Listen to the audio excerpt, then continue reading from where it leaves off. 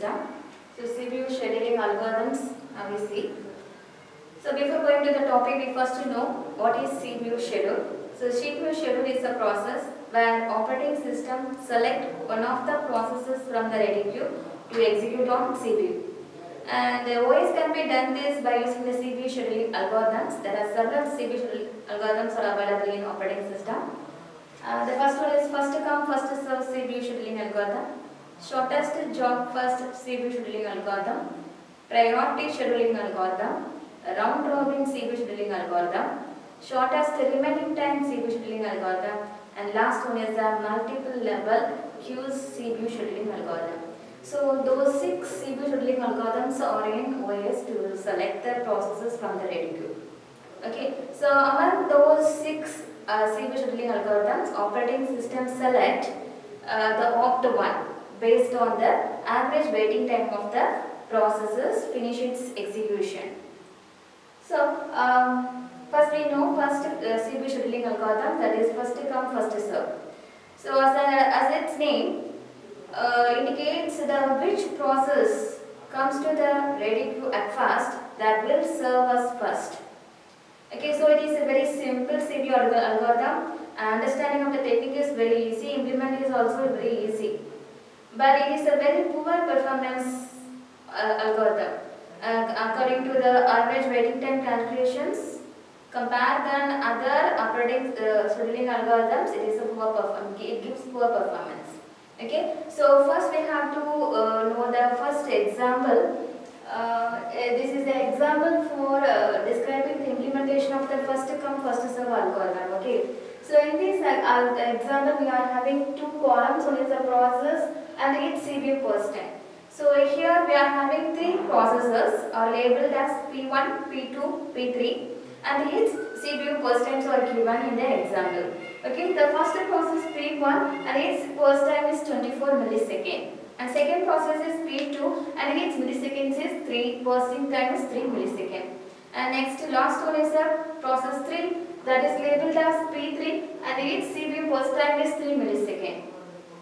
So this is the example which are given. Okay, so based on the example, uh, first we have to draw the Gantt chart. First we have to draw the Gantt chart. So by draw this Gantt chart, we can uh, uh, we can determine the waiting time of each and every process. Okay, so how to draw the Gantt chart?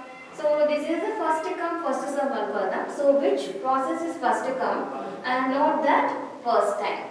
So that is served to the CPU first. So first you have to write P1. So the P1 comes to the CPU at the millisecond 0. So from the 0, initially first comes, so it start from 0 millisecond and this burst time is 24. So up to the 24th millisecond, the P1 occupied the CPU for finishing its execution. Okay, and the next one comes, next one is the P2. So the P2 is come next. So it will serve to the CPU next.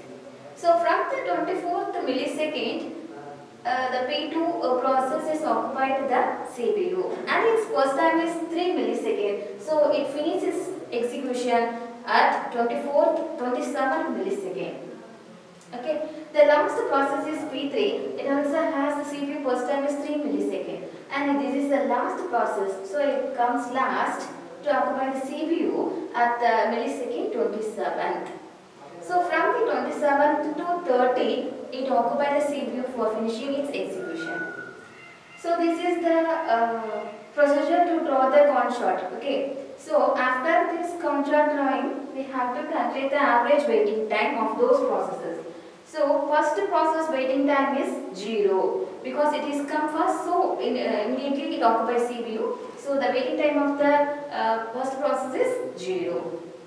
And second process uh, waiting time is 24 because the first process execution time is 24. So till it's finished the, uh, the next process should be wait on ready queue. So the waiting time of the P2 is 24.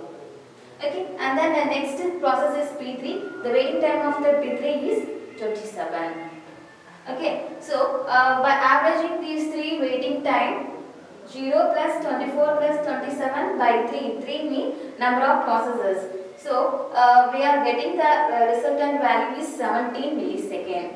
So uh, the example given examples or implemented in the first come first serve scheduling algorithm, you are getting the average waiting time is 70 millisecond.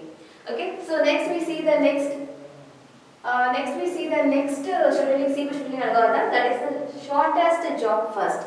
Shortest job first. is as its name indicates, which process has the least CPU burst time that will serve as the CPU first. Okay, so this is the best uh, CPU scheduling algorithm in its performance. And this algorithm use preemptive and non-preemptive scheduling. So preemptive scheduling means the process uh, is to be interrupted, the running process is to be interrupted by uh, some other higher uh, priority process. That is a preemptive scheduling. Non-preemptive scheduling means uh, any new process has to be wait until the running process finishes execution. That is a non-scheduling, non-preemptive process. Okay. And the same example we are using for the uh, shortest job first algorithm. So here we are having three processes and its per CPU burst time. Okay. So now uh, let's we start, to draw the chart.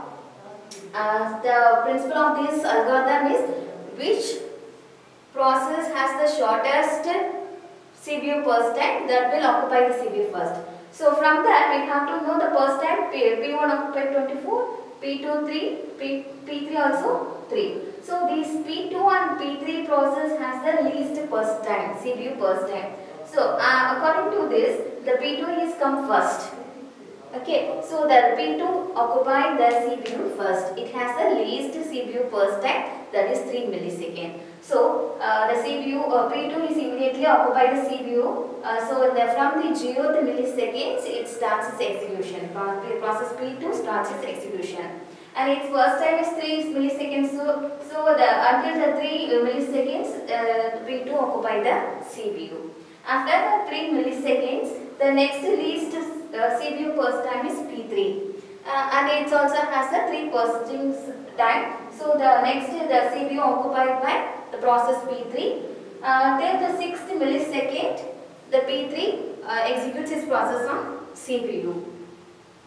And then the next uh, CPU burst time is, the at last one is P1. It has the 24 CPU burst time. So this is the last one. So it occupies the last uh, CPU, uh, okay, uh, last turn for the CPU execution. So from the 6th milliseconds to 13th milliseconds, it occupies the CPU to finish its execution. And hence we find the average waiting time of those processes. So the P2 uh, has the waiting time is 0, P3 has the waiting time is 3 and P2, P1 has the waiting time is 6. So totally sum all the waiting time of those processes um, uh, divided by the number of processes we are getting the average waiting time. The average waiting time is 3 milliseconds. So the same example we are, we are, we are using in the first come first serve algorithm and also in the shortest job first algorithm. Uh, we are getting three different average waiting time value. The one is 17 millisecond and the one is 3 milliseconds. So from that uh, uh, average result you can you know, analyze uh, the shortest job first uh, CPU scheduling algorithm is the best one because it have uh, it is having a 3 milliseconds compared than the 17 milliseconds which is best. Thank you student.